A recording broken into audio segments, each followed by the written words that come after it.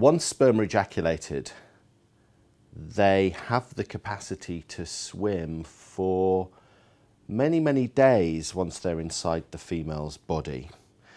If she's during her fertile window, then those sperm that enter the vagina will quickly pass through the cervix, into the womb, and into the fallopian tubes. In the fallopian tubes, we think that there's a mechanism for sperm to kind of power down, to be held in a, a state of suspended animation. And they wait there until the egg is released. They're sent a signal, we're not sure what that signal is, and then they are slowly released from their storage site in the fallopian tube where they can go along the fallopian tube to find and fertilize an egg. Now, that sounds like a really quick process, but actually that whole process can take up to five days.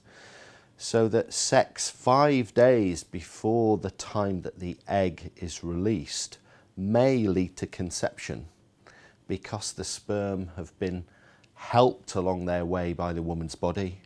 They've been selected, they've been powered down to some extent, and then they've been given that final trigger to go on a hunt and find and fertilize the egg. So that's why we think to maximize the chance of conception, having sex two or three times a week means that you are fairly certain to hit that four or five day window when the woman's body is receptive to sperm and when it's most able to keep those sperm alive and healthy.